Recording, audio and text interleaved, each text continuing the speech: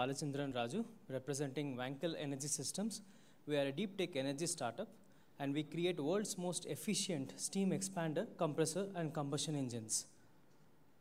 So the uh, initial problem statement that I would state right now is there is no device across the world that can cater to saturated steam as well as variable load. That itself is a market of 6.6 billion US dollars just in India and 80 million tons of CO2 can be avoided annually every year. So this is usual process that happens in the process industries. Any industry, milk, paper, brewery, any industry, you have a steam generation area, you have a steam distribution, and there is a steam consumption. In this particular pressure reducing valve, when you convert high pressure to low pressure, thermodynamically you are throttling it, thus killing the exergy, that is work potential of steam. That's where we come in, and the potential to harness from that loss that is happening is almost 100 billion units of electricity can be generated annually. And these are the beachhead market that can, you know, we can cater to. There are products, it's not like we are completely new. For hundreds of years, there were turbines.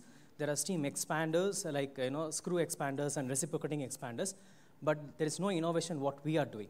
They can, uh, turbines cannot handle saturated steam, and other devices that are there, so-called solutions, cannot, they have, have very limited variable load handling.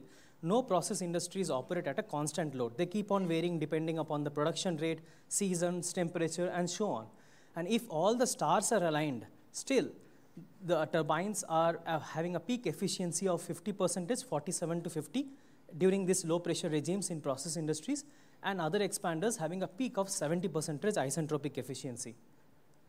So that's where we come in. We, are, we have invented something called as the Phoenix, very cliche because we are you know, generating electricity from what is being lost.